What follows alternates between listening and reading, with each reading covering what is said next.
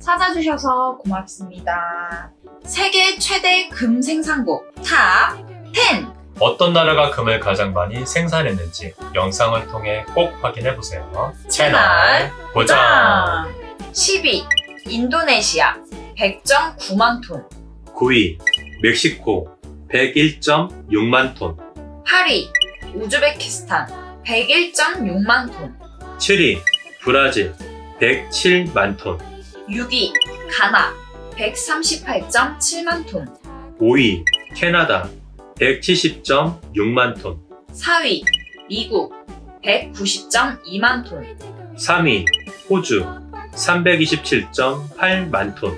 2위 러시아 331.1만 톤.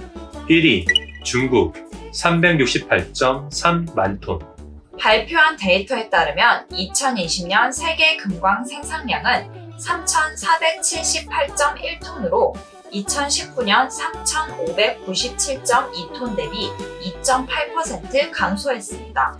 여러 가지 이유가 있겠지만 코로나19 유행으로 인한 생선 둔화도 한 몫을 했다고 합니다.